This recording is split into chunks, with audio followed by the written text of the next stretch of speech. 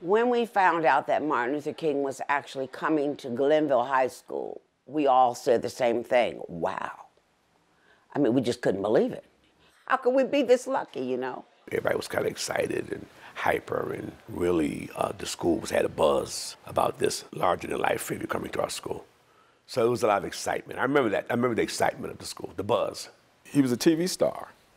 For all, you know, he, he was a civil rights warrior, but for us, he was also a TV star. Just break it down. He was, he was a rock star. I can still remember them coming to get us. And I remember us walking outside, and there was a wall of black suits. And we went through the middle of it, and it was saying, walk, walk, walk. And all of us were going through this wall of black suits. And at the end of the wall was just sunshine. And we looked up, and there he was. And he did like this to me. And I so I shook his hand, and that's when the flash bulbs went off. It was wild. It was really crazy. Now, one thing about Glenville kids, we could appreciate sartorial splendor. I mean, we knew how to dress, and he fit right into that, which was one of the attractions we had for him. He was sharp.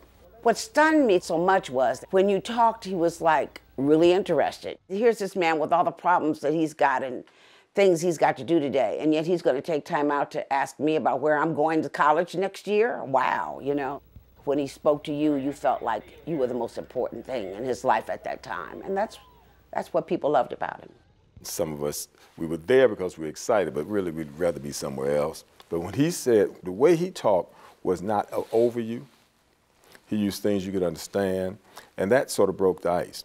Uh, uh, and sort of got us into, well, hey, this not, you know, this may not be, this is not like a usual teacher thing where they stand up in front of the blackboard and give you this long lecture. I mean, he actually, he had a conversation it was inspiring. It was a speech, but it was more of a conversation. He actually challenged us to reach for more in his conversation. He had young ideas, pushing for change, you know, struggling to make the society different. And that's what we needed to hear from him because we were ready to do something. We were ready.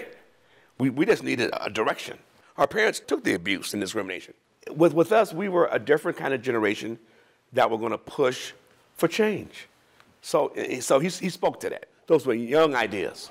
Basically, what he was telling us, especially to the seniors, is now it's time for you.